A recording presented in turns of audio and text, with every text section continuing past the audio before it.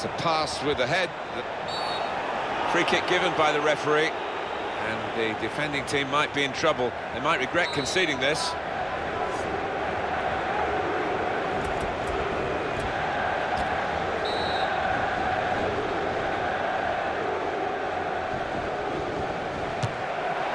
Well, he kidded the goalkeeper.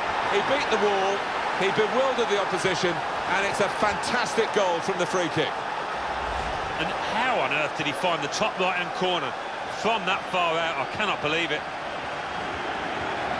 Well, let's take another look at the goal.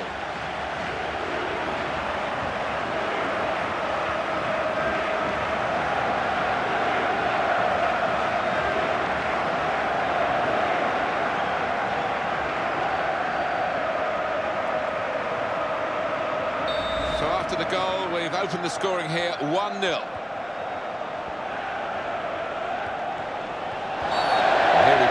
Kick given by the referee.